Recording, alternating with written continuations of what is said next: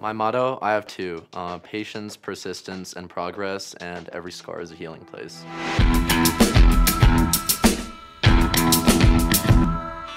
My motto is, we're all searching for someone whose demons play well with ours.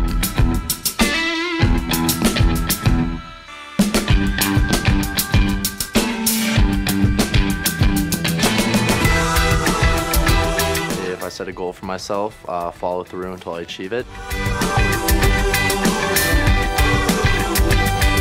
Morgane and I actually went to middle school um, together, and we only reconnected last week um, on set for a shoot that we did together. The style that I prefer for my everyday life would definitely be something comfortable, comfortable shoes, something warm but still stylish.